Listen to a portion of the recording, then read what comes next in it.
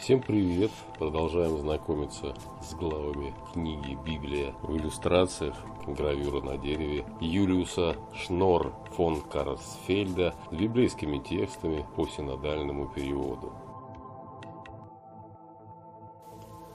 Маловерие Петра И тотчас понудил Иисус учеников своих войти в лодку и отправиться прежде его на другую сторону, пока он отпустит народ.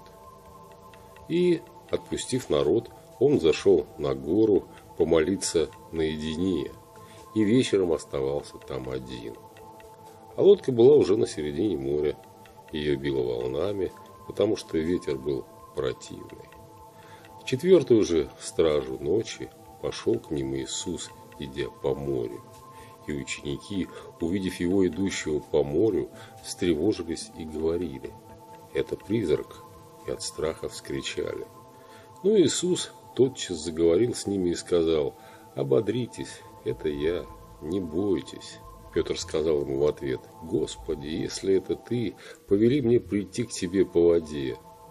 Он же сказал, «Иди».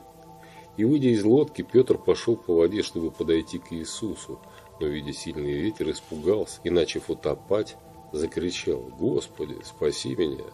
Иисус тотчас простер руку, поддержал его и говорит ему, «Маловерный, зачем ты усомнился?»